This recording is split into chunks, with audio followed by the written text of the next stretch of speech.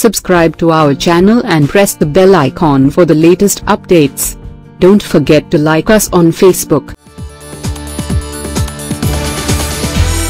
కత్తి మహేష్ కత్తి మహేష్ గత కొన్ని నెలలుగా ఈ పేరు రెండు తెలుగు రాష్ట్రాల్లో పెను సంచలనమై మారుమోగుతోంది పవన్ కళ్యాణ్ చేసిన ప్రతి ట్వీట్కి వెంటనే తనదైన స్టైల్లో సోషల్ మీడియాలో పోస్టులు చేస్తూ పవన్ కళ్యాణ్ ఫ్యాన్స్కి తెగ కోపం తెప్పించాడు మొదట రాజకీయాలకి పరిమితమైన ఈ మాటల యుద్ధం తర్వాత పవన్ కళ్యాణ్ వ్యక్తిగత విషయాల వరకు వెళ్ళింది. దీంతో పవన్ అభిమానులు కత్తి మహేష్ ఎక్కడ కనిపించినా బెదిరించడం సోషల్ మీడియాలో వీడియోలు పెట్టి తెగ హంగామా చేశారు.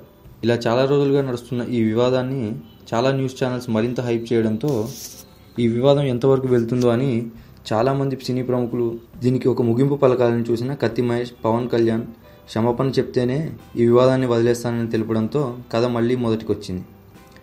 తెలుగు త్రీ సిక్స్టీ అనే ఒక ప్రముఖ వెబ్సైట్ కత్తి మహేష్ రాసలీలకు సంబంధించిన కొన్ని మెసేజ్లు బయటపెట్టింది.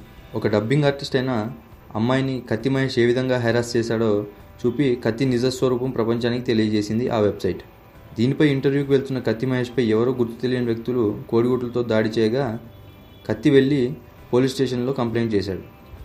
ఇదే విషయంపై ఒక ప్రముఖ న్యూస్ ఛానల్లో డిబేట్ పెట్టిన సీనియర్ జర్నలిస్ట్ మూర్తి గారు దీనికి ఒక పులి స్టాప్ పెట్టాలని నిర్ణయించుకున్నారు. వెంటనే కత్తి మహేష్ని అదేవిధంగా పవన్ అభిమానుల్ని పిలిచి వారి మధ్య సయోధ్య కుదిర్చారనే చెప్పాలి. ఈ చర్చలో పవన్ కళ్యాణ్ని మళ్ళీ తాను వ్యక్తిగతంగా ఎలాంటి విమర్శలు చేయనని చెప్పగా పవన్ అభిమానులు కూడా కత్తి మహేష్పై ఎలాంటి వ్యక్తిగత విమర్శలు చేయమని తెలిపారు.